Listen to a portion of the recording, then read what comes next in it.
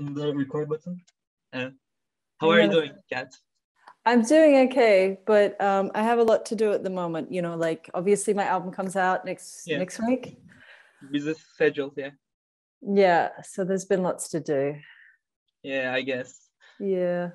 Yeah. So, uh, but um, the singles are so far uh, look are amazing. By the way, I can't wait for the full album. Uh, oh, thank you. That's very kind of you. yeah, they're they're amazing. okay, so uh, I would like to ask uh, uh, start with a like question that is uh, rather heavy in content but i guess it can be fun uh, to discuss it with if, if you bear with me because it is a long question. Okay.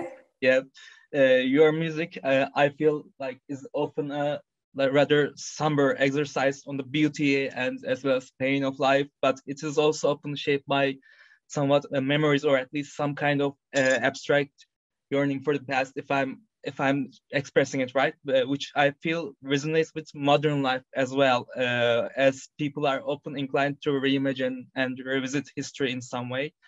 And I'm talking about uh, a variety of scales here, like be it the blockbuster reboot films of Hollywood cinema, or, or uh, like our individual artistic efforts, like any, in any area really.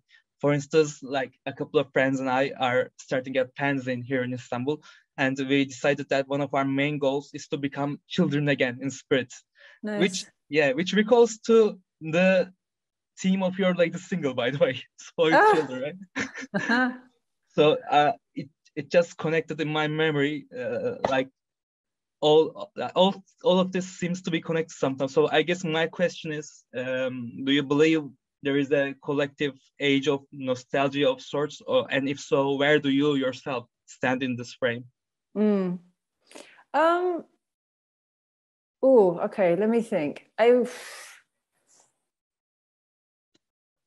I would say maybe there is a little bit of nostalgia for uh, a time. I mean, I guess, I guess you know, as you get older, we all look back to when we were kids and things were a lot simpler you know and may i feel like i don't know what it's like with you but i feel like over the past couple of years everything's become very political certainly in berlin people here are are you know doing a lot more i mean berlin it's always been a very protesty activisty kind of place but but it feels like a lot more people are kind of you know, understanding what injustice is in the world and, you know, the, the separation between rich and poor. And I think maybe because of this, there is a nostalgia to return to um, a place where things such as play, creativity, joy, um, have have a place to exist and are celebrated.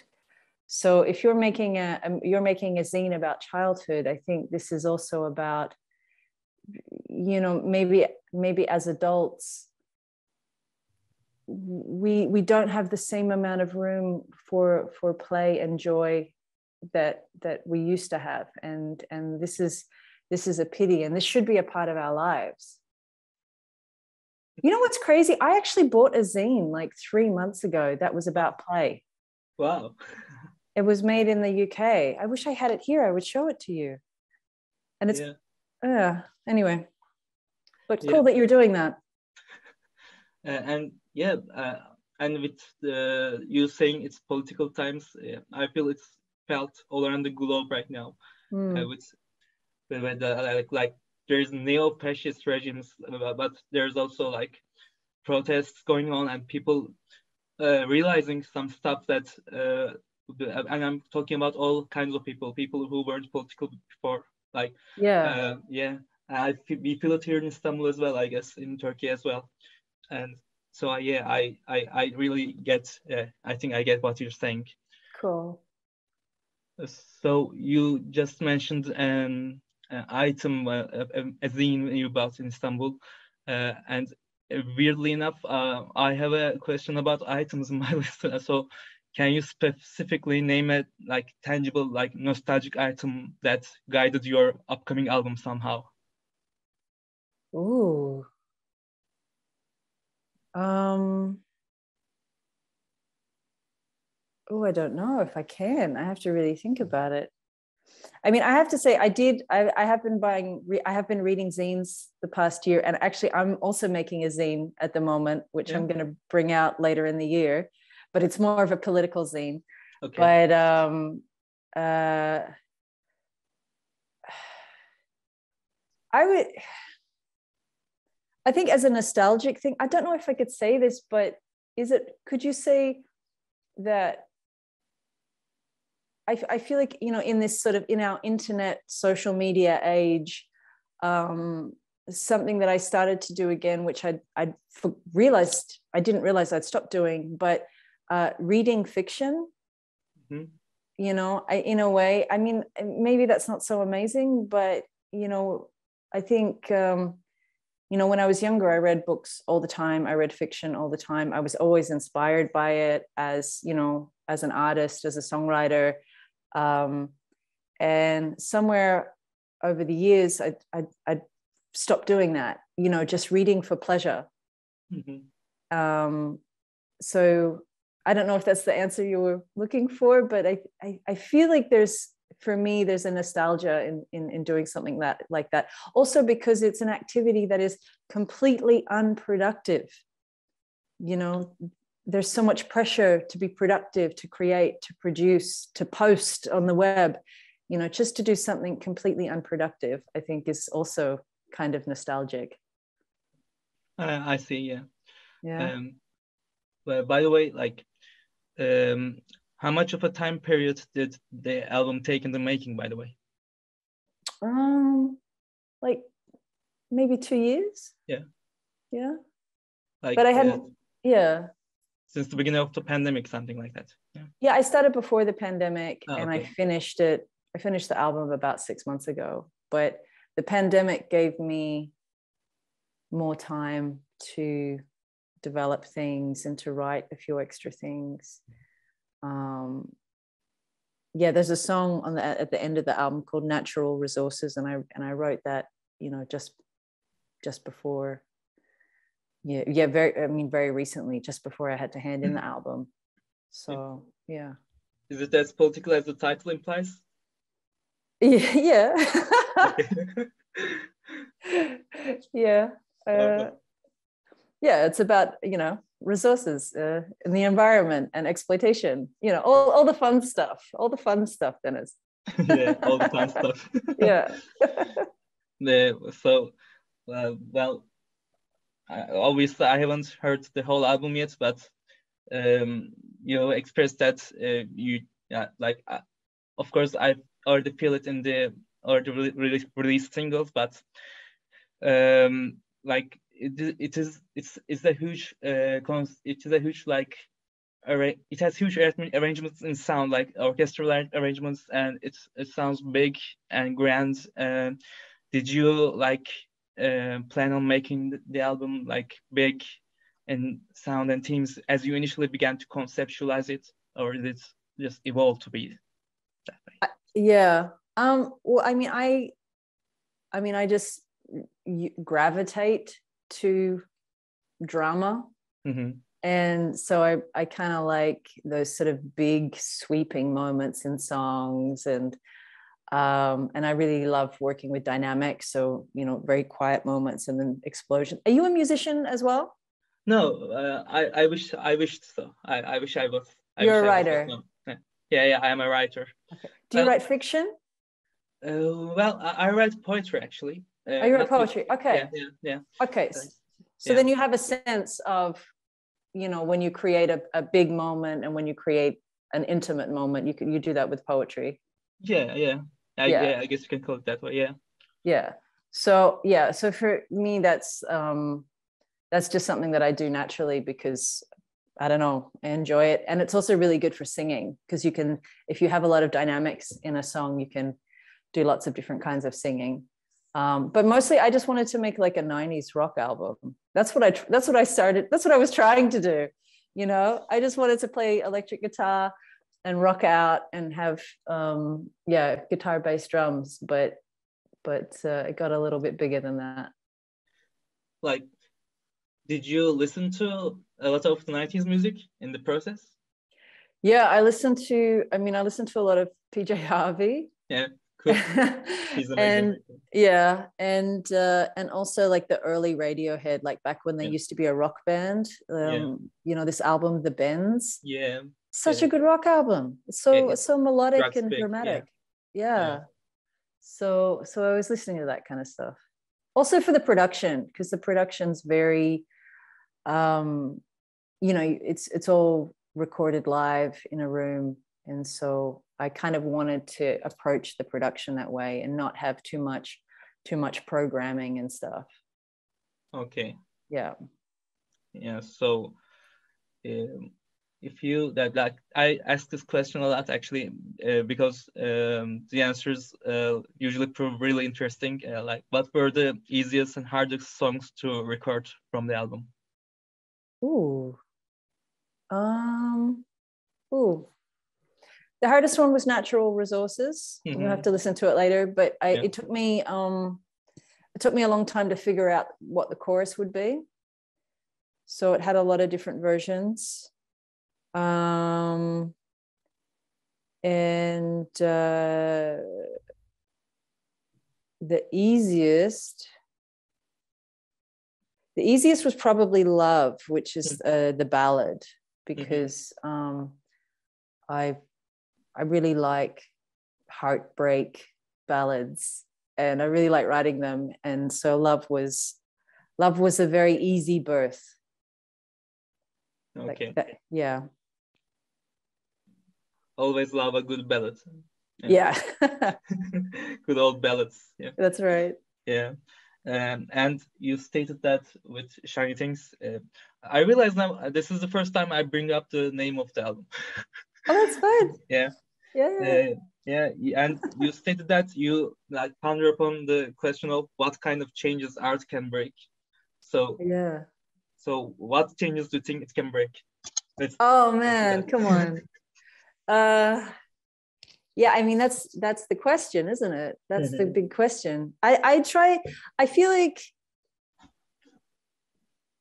can i can i ask you what you think like do you think do you think art has power to change the world i mean i believe not maybe not as an initial process an initial thing initial outcome mm. but i believe it uh, it culminates uh, it can often culminate to reflect on the collective memory and more importantly like um, yeah it can influence lifestyles like instantly you know, on a personal level like mm. uh, you can listen to punk, uh, punk music as a teenager and uh, live your life accordingly which uh, i did mm-hmm. um, and on a more collective level i guess it's uh, it's all about interaction and like moving forward with combined thoughts and stuff if that makes sense yeah yeah i think i think the one like the the magic of music i think is this idea that it brings people together. Yeah. because it does because you you listen to your favorite bands with your friends and you talk about music and you go to concerts and it's something that is um, experienced collectively. And and when we talk about you know things like activism and protests and stuff this is all about the collective about a group of people and so in some ways there is a parallel um, i i don't know yet if the songs themselves have the power to change opinion or open people's minds to different ideas. I feel like often music is the soundtrack to something else that's already happening. So it can be supportive of a movement that already exists. Whether or not it could create a movement by itself, I, I don't I don't know about that yet.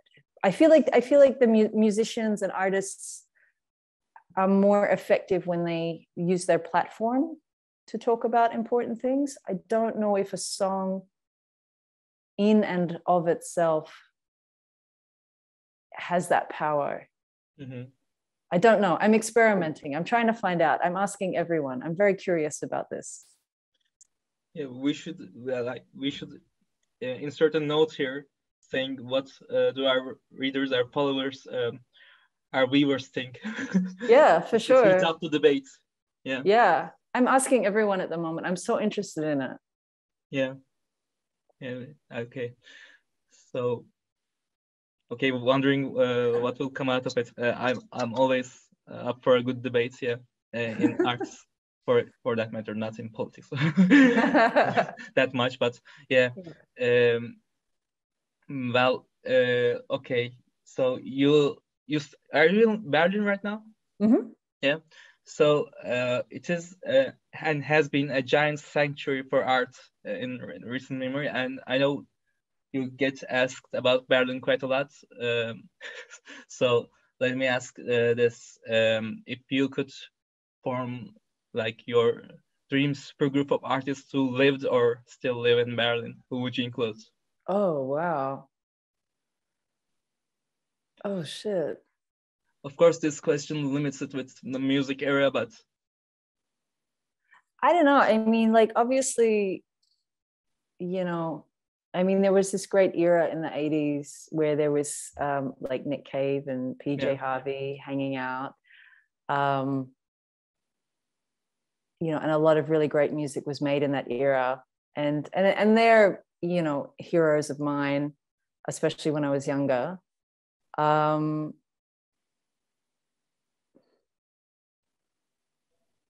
I mean, also like I have to say, you know, when I first when I first came to Berlin, there was this really amazing DIY anti folk singer songwriter scene that was just, you know, we were just so young and dirty and poor.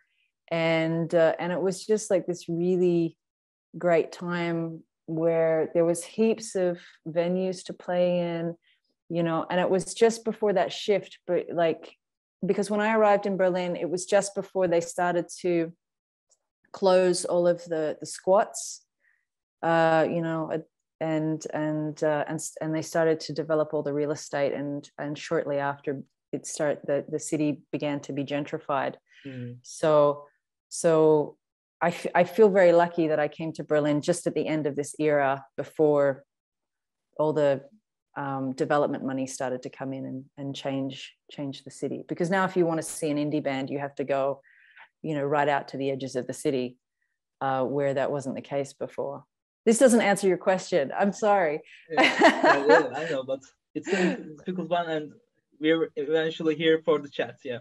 Yeah, but yeah. I mean, yeah, I don't really have like a, I don't really have like a an era of heroes. I have to say, I just, mm-hmm. um, you know, I just, you know, Ber- Berlin was just a lot of fun when uh, there was less foreign investment yeah that's, okay. that's not a happy answer i'm sorry man yeah. like uh, yeah lots of great yeah. names though. David bowie too. Like my like uh, two of my biggest heroes are nick cave and david bowie so they all yeah i see. to berlin yeah yeah. Yeah i mean i love david bowie but i also feel like he has I mean, he has this connection to Berlin, but uh, but I feel like because of that, there's just so much focus on him here. Like I feel like it's sort of almost he's so he's almost treated like a god and mm. here because because of his connection to this city. And sometimes I think it's maybe um, a little bit too much. Like I don't know that it's, you know, I don't know.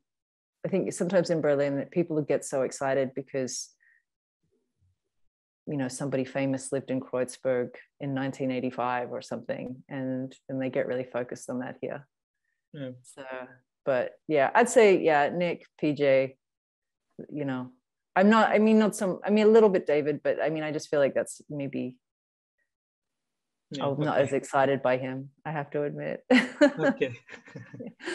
yeah. Yeah. Uh, so like uh, what are your current plans about the album and the tour? Yeah, you have a tour, big tour coming up, right? Uh, well, the big tour is in October. I mean, Yeah. actually, it was, you know, yeah, it's been planned for a while. And then obviously, COVID meant everything got pushed back, the release, the tour.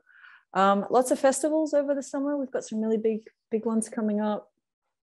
And uh, yeah, I mean, you know, the good thing is, yeah, next week the album's out, which means um, after all the promotion stuff, uh, then I can just start focusing on putting together the shows and and figuring out how what we're how we're going to sound and what it's going to look like and and all of that stuff Yeah. Hope we can see you here as well. oh my god i Yeah. hope so are you what are you in istanbul or, Yeah, or yeah, where are I you am. yeah okay Istanbul.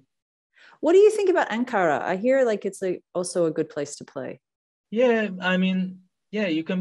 Yeah, it says it's a big city. It's a capital city. Well, Mm. um, not um, as vivid in concerts and events uh, as as Istanbul, but still uh, great events take place here. So why not? Um, you should like Mm. um, do a mini Turkey tour if you like. yeah i kind of want to and Yeah. yeah because when people i get people who write to me on instagram and i feel like more often people ask me to come to ankara than who you know ask me to come to istanbul so Yeah. I'm wondering about uh, if, if i should go there if if they're um, asking uh, you can play Ankara, then Mm. you probably have a fan base there as well as in here. So why not? A great idea. I Yeah. uh, it's a great idea. yeah Yeah. okay. yeah i need to make that happen i'm gonna i'm gonna try and make that happen for this year so i can come Yeah, hopefully. yeah Yeah. Yeah. So, okay. Uh, well, uh, this is actually, I, I don't believe how quickly the time has passed, but this is actually the last question on my list. nice okay Yeah. So, um, and it is uh, the common final question. Uh, it is a, a big one. oh another one oh my god Yes, um, okay you- the- the- like, I, I I feel like I somewhat challenged you with some of my questions earlier. Yeah, good. Yeah, Yeah. yeah, it's good. So I, I'll quickly ask it through, and I have it written here. I'll just read it. Like, Okay. let's imagine we're a hundred years into the future. There Yep. is uh, a musician's uh, memorial park, music artist theme park, and there is a Kat Frankie memorial stone in it. If you could personally choose one of your lyrics to be written on your memorial, which do you think it would be? oh. Oh shit. I I I I like all of my lyrics actually. I work That's really cool hard. Yeah. I work I work really hard on them. Like I'm really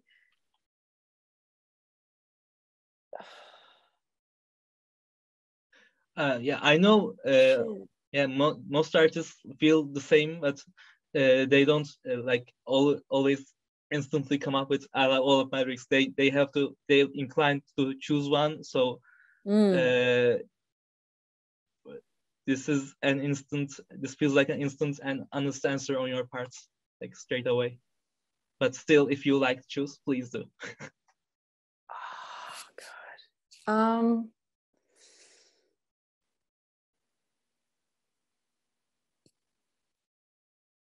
I'm trying I'm scanning. I'm scanning the songs in, in my head.